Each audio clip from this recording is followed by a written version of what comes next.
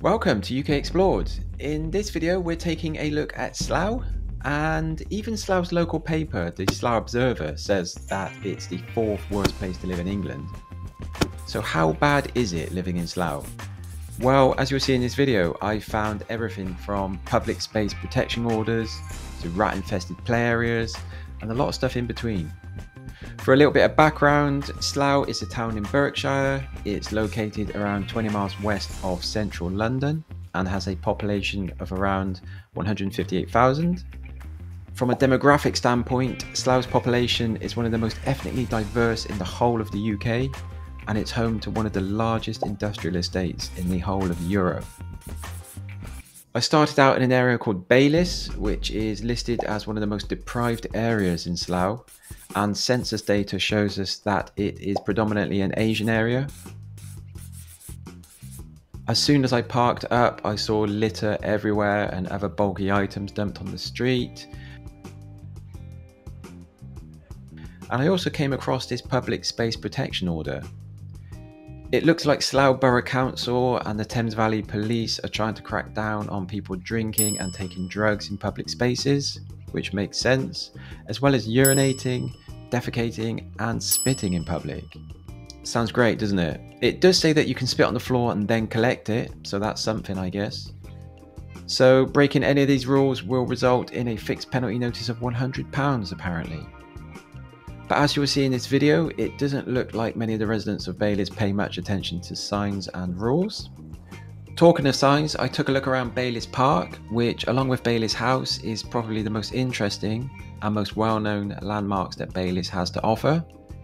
Here is a sign saying not to feed the ducks or birds, written in three languages it looks like. And here is someone happily feeding the birds. Here is another sign explaining that littering is harming the environment and costing the council millions in costs. And that's also one that is ignored as you'll see. Baylis Park is a huge open space and should be a public space that everyone can enjoy and experience some nature and some quiet time away from the looming industrial presence in Slough, but it's been trashed. As you can see, it's poorly maintained, There is litter everywhere.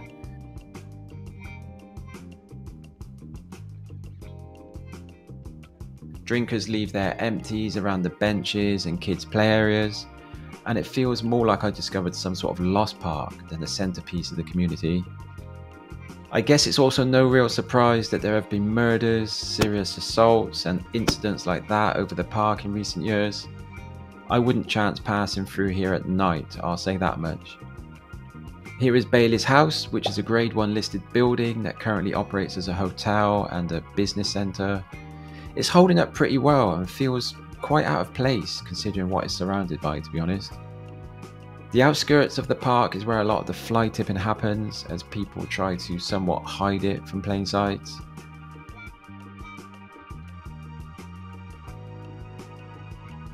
Here is a look at the shopping districts to help give you a feel for the needs of the community in Baylis.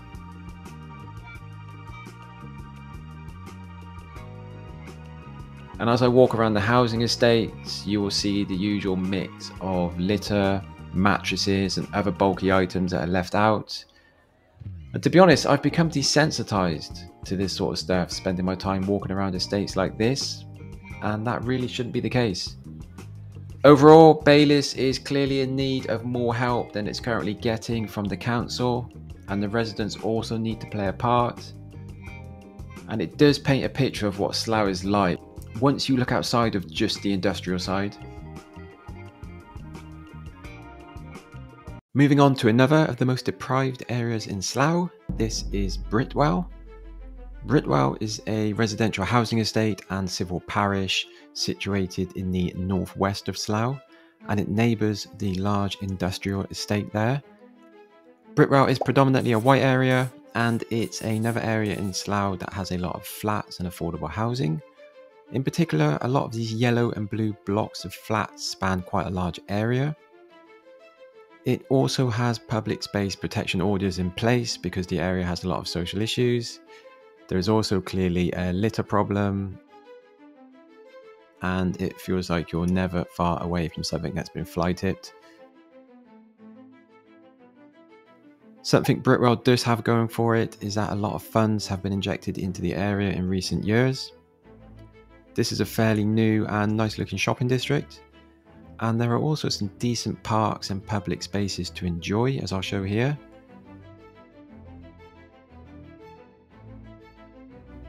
I took a deep dive into the crime stats and some of the headlines for the area. There was all the usual stuff you'd expect from an area struggling with poverty, high unemployment, and misguided youths. There are a lot of assaults, drug busts, and things like that. But the crime rate isn't that high actually, which usually means that a lot of the problems are insulated within the crime network. You can't do anything about the skyline of industrial buildings, but honestly, Britwell felt like one of the better areas that I've been to in Slough, and one of the better areas overall that has such a high rate of poverty on paper. Next up, we have an area called Chalvey, and this is where things got a little bit more interesting and definitely took a turn for the worse. Chalvey is located just south of the centre of Slough. It has the highest crime rate of any area in Slough with a crime rate of 163 and it is also one of the most deprived, diverse and economically challenged areas in Slough Chalvey was actually featured on a BBC documentary about immigration around 16 years ago, and even at that point it was said that the area was overcrowded and most of its residents were immigrants. I think it's fair to assume that things have only gotten worse since then, and it was certainly a bit of an eye opener for me walking around the area. The fact that I came across not one but two public space protection orders in Chalvey tells you how bad things are. This one here prohibits residents from drinking, taking drugs, and relieving themselves on the streets. And the other prohibits um, antisocial behaviours like loitering and blasting loud music from cars at night.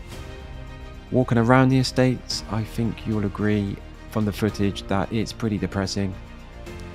There is loads of litter everywhere. I can only tell you that it smelled really bad in most of the areas I went. And of course, there were loads of fly tipping spots, this block of flats here is being demolished to make way for new affordable housing. And opposite is this park. I hope they intend to do something about this park because not only is it in a terrible state, but I saw a few rats darting around. I tried to capture one zoomed in, so sorry for the quality here, but if you look closely, you'll see a rat scurrying along. It also looked like someone had been sleeping on this mattress right next to the park, this shopping district had women working the road in broad daylight, which I couldn't film. There were homeless people, people drinking, and I saw some shady characters driving around slowly, checking out what I was doing. Here is the Working Men's Social Club, which were a staple for industrial areas like this. The Magistrates Court and Police Station are also situated in Chalvey, with such a high crime rate, it will come as no surprise that there are some pretty wild headlines coming out of this area. I won't go through them as it's endless really. I hate to say it, but if you're visiting Slough or even thinking of moving there, you'd be wise to avoid Chalvey altogether. So that about wraps it up for this video. My aim was to give you an honest look inside Slough that you wouldn't get elsewhere, and I hope I achieved that.